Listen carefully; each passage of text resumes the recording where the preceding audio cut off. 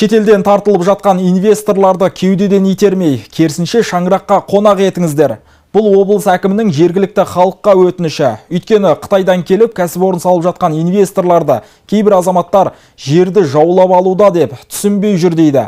Ордабасы ауданына жұмыс сапармен барған Дархан Сатыбалды екі кәсіпорынның жұмысымен танысып, жайлы мектептің жайын білді. Әріптесім жалғасын.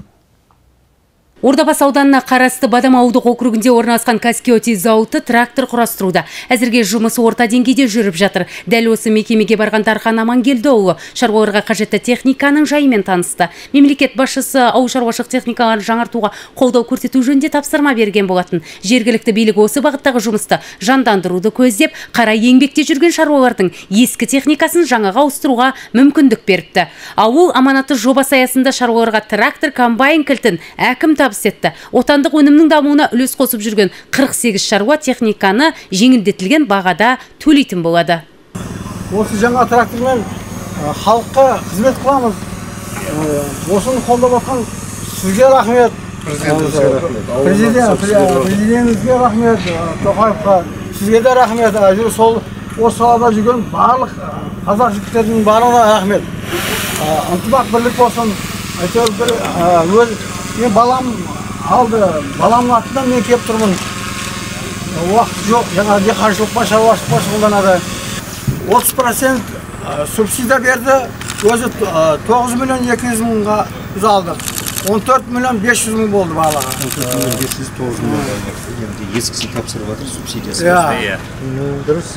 Дұрыс. Рахмет. Алла разы болсын. Оңтүстік кореяның компаниясымен бірге жинақталған ауыл шаруашылық тракторының өндіретін кәсіпорын 2015 жылы жұмысын бастаған. Жоба жеке инвестор есебінен жүзеге асып жатыр. 5 гектар аумақта орналасқан. Мұнда елу адам тұрақты жұмыспен қамтылыпты. Зауыт толық қуаттылығына шыққанда жылына 2000 техника жинауға мүмкіндігі бар. Өткен жылы 304 дана трактор 6 комбайн жасап шығарса осы жылдың үш айында 180 дана трактор жинаған.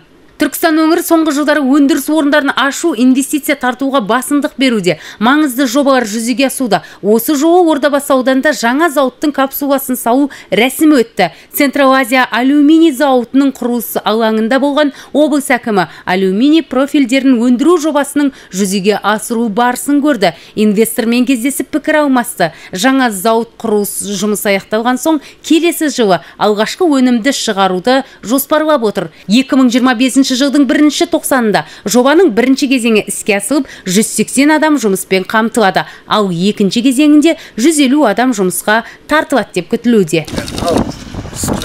Жақсы бір өндіріс болсын. Осыған жалғасы бола берсін. Бастамасы болсын. Арзан иә мына мына кісі. Арзан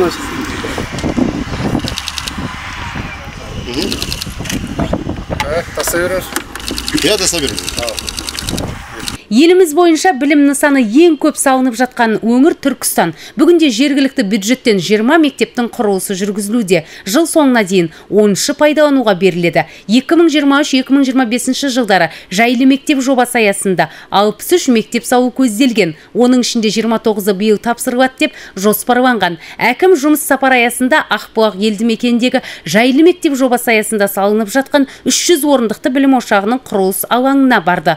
Жоба құны 4 4,1 миллиард теңгені құрайтын білім ошағының құрылысы өткен жылдың қыркүйек айында басталып биыл аяқтау көзделіп отыр. Түркістан облысының әкімі дархан сатыбалды аудан қалаға жасаған биылғы қорытынды кездесуді ордабасы ауданында өткізді. Өңір басшысы өндірісті дамыту кәсіпорындар мен жұмыс орындарын ашу негізгі бағыттар екенін тағы да айтып өтті. Кездесудің толық нұсқасын түркістан ньюс бағдарламасынан көре аласыздар. Бағланбай көбекқызы ақжол рахманқұл дулат ергешбай айғақ қоғамдық телеарнасы.